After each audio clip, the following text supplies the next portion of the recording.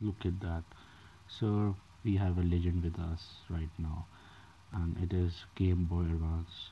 Hello guys. Psb and we are we have with us is the legend aka bad boy game boy advance sp so this is the last version which nintendo uh, released in the uh, year I think 2004 and I still have it and it's still fucking working.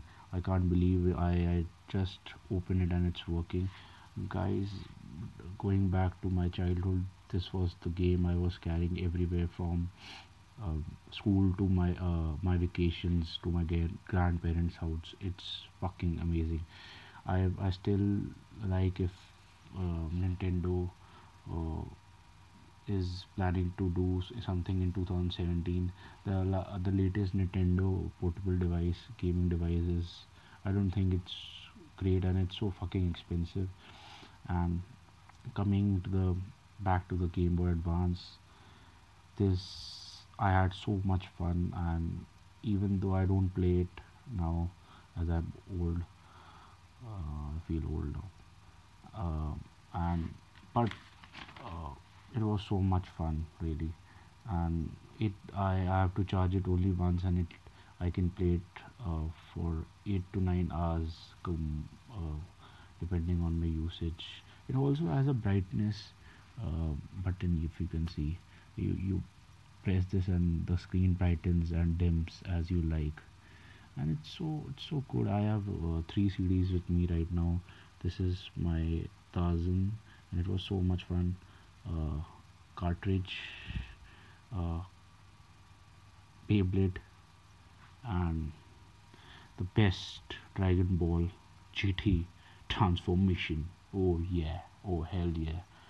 So guys please please tell me if you have this bad boy at your home and do you have it in your showcase or you still play this? It will be one in a million if you are still playing it but it's a fucking legend and guys um, i hope i hope you don't sell it because these are not available in the market. I've seen it checked it and you can't find a working condition game boy in metallic color.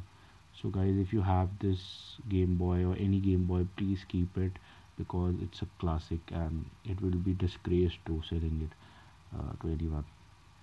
And if i if i have to choose this over my psp uh, I will choose uh, I will choose this one because PSP for me is not a good choice. And I can take it anywhere I like. And I have many more cartridges so I will take this one.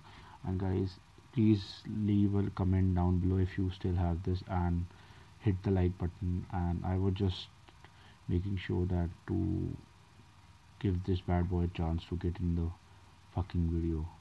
So guys thank you for watching and bye